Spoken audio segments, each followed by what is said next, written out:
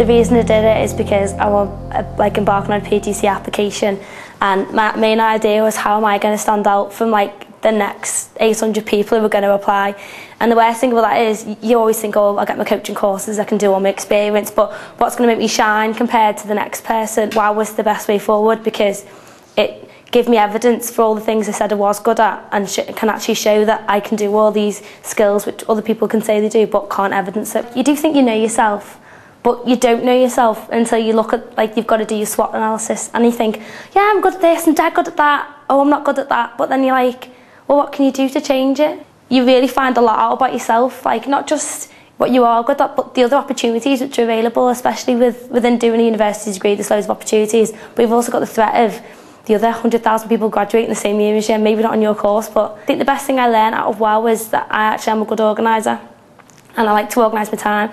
And through doing WOW, I, I organise everything now up until like literally when my dissertation's got to be handed in, it's everything proper organised. Through doing that, the organisation, I got to really get an in-depth thought of what happens in schools and not just thinking, oh, I was a student and I know the teachers did this. You actually understood that why they were doing it and it makes a big difference to why you want to go into a business if you can understand what's going on already. You know, tomorrow definitely with me and into I'm going to definitely bring it up because I really feel that that is my time to shine. I feel as if I've got nothing to worry about.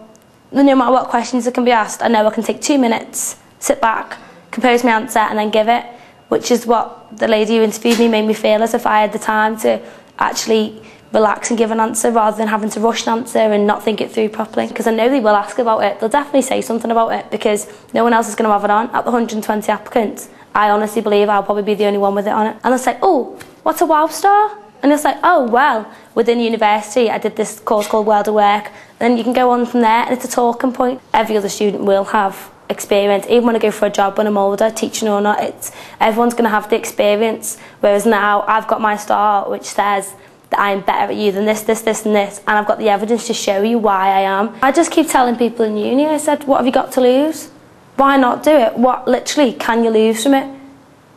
It's a free opportunity which not, no one else in any other university is getting given. So grab it with two hands while you can. People say, oh well, do it. Yeah, I'm, I'm doing something now, but does, if you can't evidence what you're doing and you can't back it up by saying, oh, I am good at communicating, says who? But you think you do think you know it all until you come to the wall where you realise, oh no, I don't know that. You could have the most experience in the world, you could have all the degrees in the world, but if you can't stand out on your CV, then you won't get the job, you won't even get an interview. I'm ahead of the game now.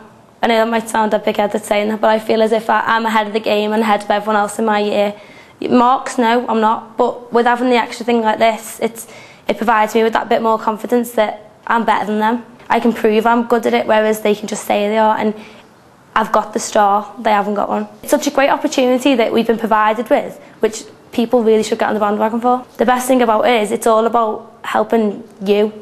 It's not as if like people like you are getting anything out of it. Like, you know, it's all about like helping the students while you can. And I think more people need to realise that you're not here to annoy them with emails. You're here to further them and what they can do with their lives.